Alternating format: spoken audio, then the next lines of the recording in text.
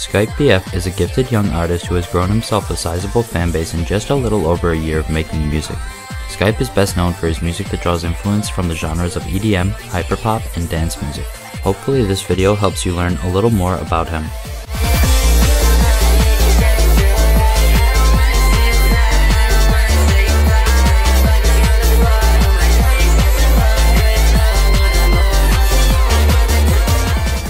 Skype grew up in Huntington Beach, California and was a sporty kid. He played football and baseball for 11 years. Skype was good at these sports and he said his athletic past is surprising to a lot of people. Aside from playing these sports, he spent a lot of time with friends at the beach and went surfing quite often growing up.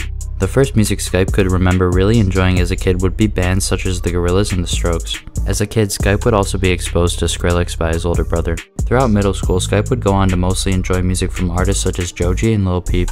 By the time junior year rolled around, Skype discovered the artist Oaf1 and the electronic dance collective titled Rude Club. Listening to these artists is what inspired Skype to start making music himself. Skype stopped playing sports around this time and music quickly became his main hobby. Skype began recording himself on the music software FL Studio. He was able to receive a crack for the software from one of his older brother's friends. Skype learned how to use the software mostly through trial and error but would watch YouTube tutorials to learn more specific complicated techniques. The first song Skype would go on to release is a now private song titled Intentions on May 6th of 2022. Skype had a decent sized following on TikTok at the time and this would result in his first ever song receiving over a thousand plays on SoundCloud in its first week.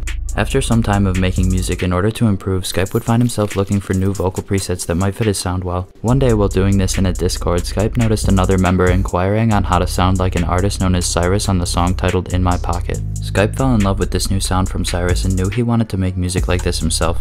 Skype reached out to Syris to purchase his vocal preset but the artist would soon form a friendship and working relationship.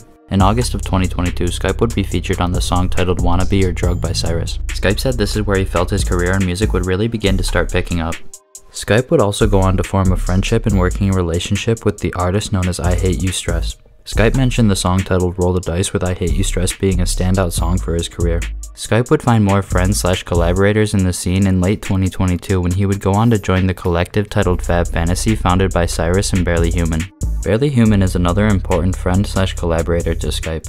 Skype said him and Barely Human had followed each other for a while but never really talked much. However, this changed after the artists would go on to perform a show together. In November of 2022, Skype performed his first show in Los Angeles alongside Barely Human. Skype and Barely Human began to collaborate on music. The first song they collaborated on is the song titled Haunt Me, and the song titled Turn It Up featuring Barely Human is currently Skype's biggest song. Since then, Skype has gone on to perform a handful of shows with Barely Human and Syris as well. When I interviewed Skype for the video, I asked him what his friends thought about his music.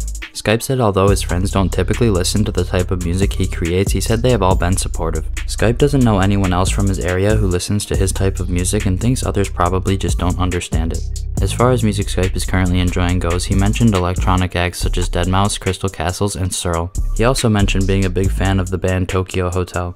In the future, Skype hopes to evolve his music, grow his fanbase, and sign some sort of deal. He's also excited to see how much Fab Fantasy can grow in the upcoming years. He's a great young artist and I see him continuing to grow. Well that's all for this video, big shout out to Hopeless for the edit, and please subscribe for more mini documentaries on various underground artists.